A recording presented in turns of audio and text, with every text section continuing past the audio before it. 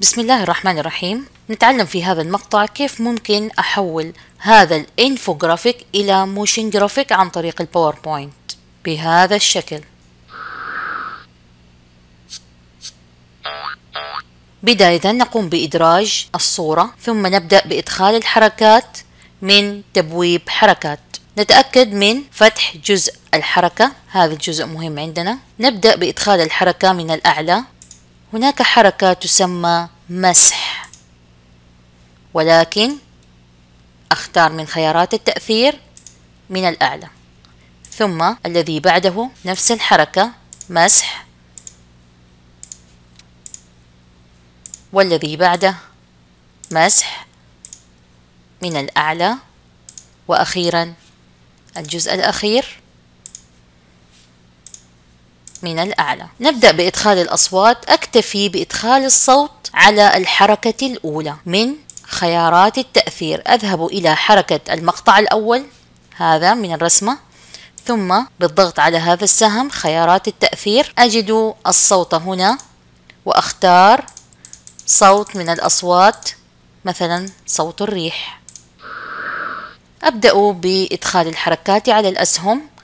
أنشط السهم الأول ثم أيضا مسح ولكن من اليسار وهنا بالمقابل مسح من اليمين ثم أضع الصوت على الحركة من خيارات التأثير أيضا وأختار آه، صوت أكون أدرجته أنا أو مسبقا في سطح المكتب.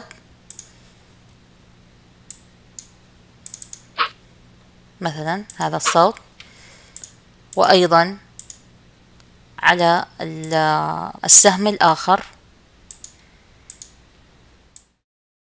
قد أدرك.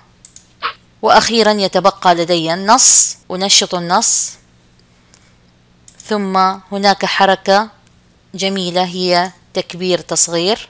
أيضا النص الآخر تكبير تصغير. نبدأ بإدخال الصوت.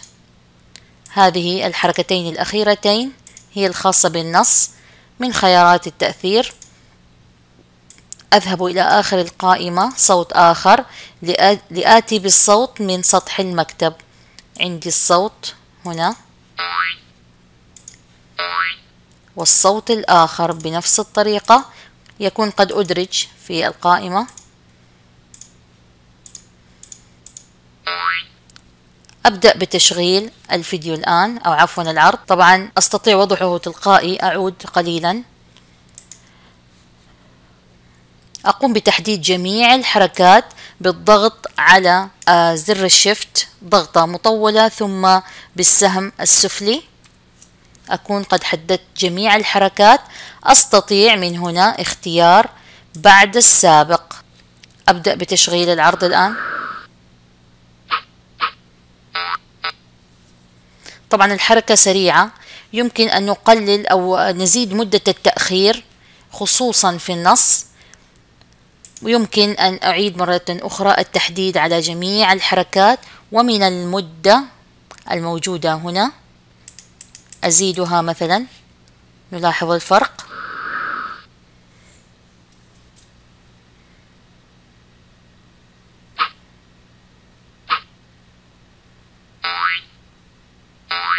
أو يمكن تسريعها قليلا. أتوقع دقيقة تكفي.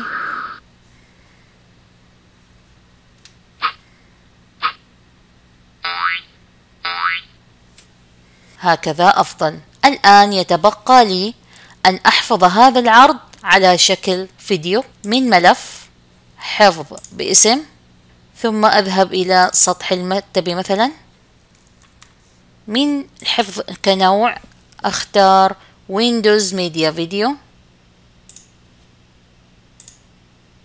أنتظر ريثما ينتهي هذا العداد. والآن أبدأ بتشغيل الفيديو.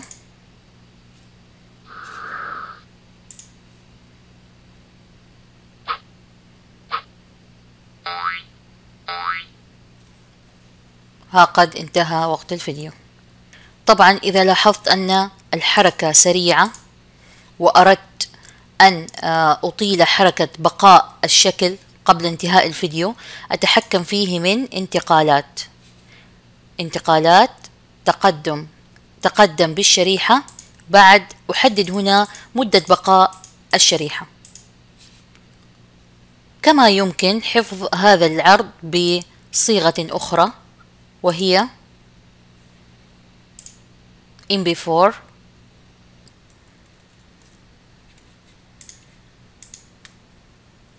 ونجده في نفس القائمة. ننتظر العداد السفلي ريثما ينتهي.